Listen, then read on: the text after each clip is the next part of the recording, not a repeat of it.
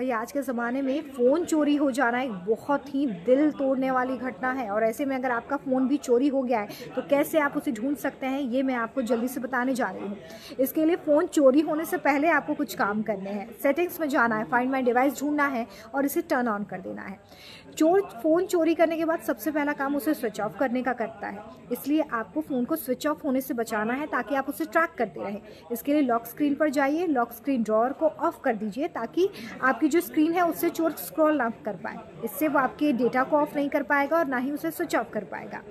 इसके अलावा आप लॉक या फिंगरप्रिंट या पिन कोड जहाँ से भी सेट करते हैं, वहाँ पर जाके कंट्रोल पैनल को भी ऑफ़ कर दीजिए। प्ले स्टोर में जाके आपको एक ऐप भी डाउनलोड करनी होगी, जिसका नाम है track even if it is off यहाँ पर आपको बहुत सारे ऑप्शंस मिलेंगे।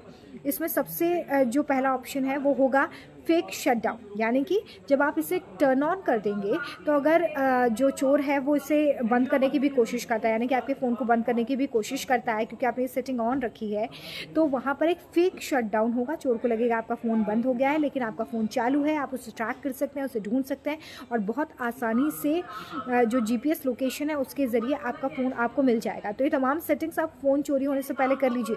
अपने दोस्तों, अपने रिश्तेदारों को भी बता दीजिए।